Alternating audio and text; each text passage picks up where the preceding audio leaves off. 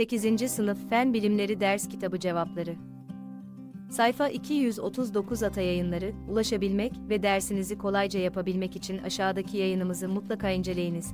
8. Sınıf Fen Bilimleri Ders Kitabı Cevapları Ata Yayınları sayfa 239C Aşağıda verilen çoktan seçmeli soruların doğru cevabı ne işaretleyelim? 1. Görseldeki cisim iletken bir tel ile topraklanıyor. Buna göre I. Cisim başlangıçta pozitif yüklüdür. 2. Cisimden toprağa yük geçişi olur. 3. Topraklama bağlantısı bir süre sonra kesilirse cisim nötr olur. İfadelerinden hangileri doğrudur? A. Yalnız I. B. Yalnız 3. C. Ayrı 3. D. I.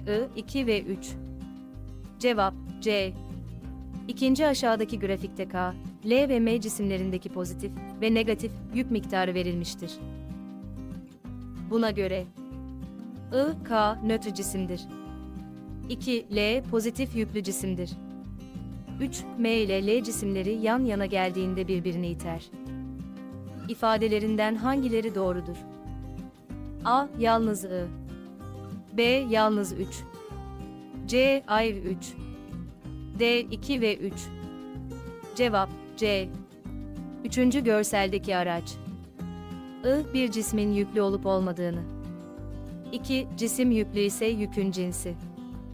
3. Cisim yüklü ise yük miktarını.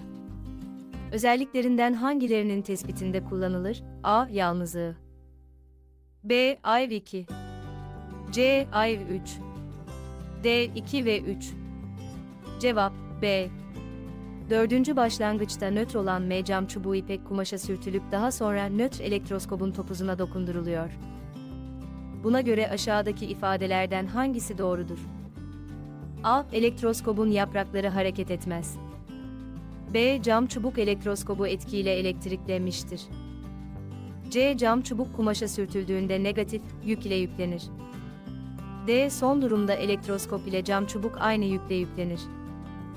Cevap D. 8. Sınıf Ata Yayınları Fen Bilimleri Ders Kitabı sayfa 239 ile ilgili aşağıda bulunan emojileri kullanarak duygularınızı belirtebilir aynı zamanda sosyal medyada paylaşarak bizlere katkıda bulunabilirsiniz.